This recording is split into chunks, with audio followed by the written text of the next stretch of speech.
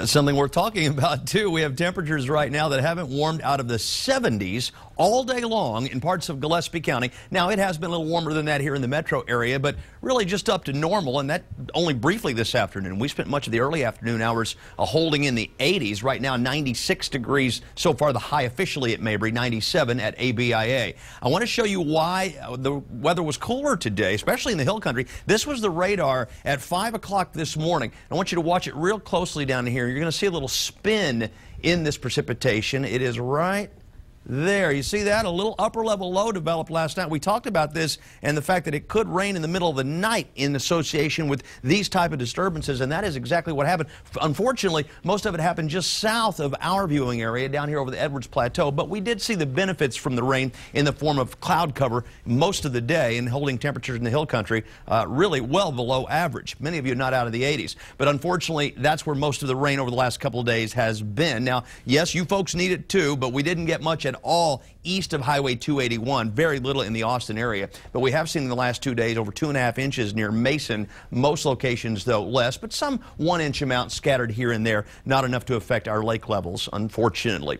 Temperatures, though, check this out. It is only 82 degrees right now in Fredericksburg, 88 degrees in the Burnet area. This is the middle of August. It should be 105 right now. 95, 96, 97 degrees around the metro area off to the east. Now, it has been a little warmer. You did get to 100 down here in Fayette County today because you were a little farther away from that rain. Sky still, as you can see live from the Austonian camera, mostly cloudy over the city. It is 94. Out at the airport, it's 96 with the mostly cloudy sky. And the winds that are a little breezy, about 9 to 17 miles per hour. Better news in the mold count today, down into the medium category at 612.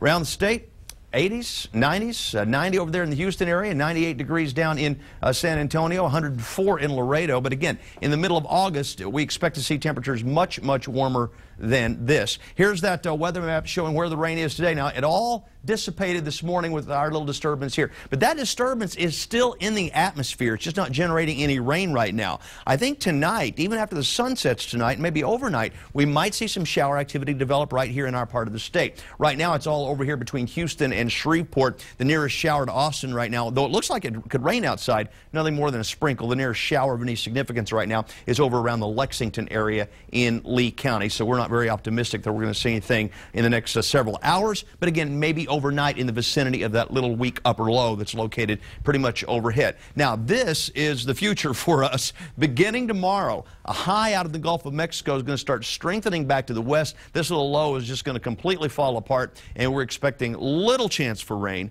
and temperatures back into the upper 90s, if not 100 degrees tomorrow. And then after tomorrow, we're looking at temperatures back up at around 100 degrees in many, many areas. Now, these are our overnight low temperatures uh, for tonight. Uh, 70s in most locations when you wake up in the morning. Uh, areas that see some rainfall overnight will be a little bit cooler than that. Uh, it's about a 20% chance. Don't get real excited about these rain chances tonight, but we think there will be some. And then tomorrow afternoon, we're going to keep our fingers crossed and try to keep it below the uh, 100 degree mark for uh, one more day, but we will see less cloud cover tomorrow. So I think some places here, while the computer models are saying upper 90s, probably will actually be a little closer to 100.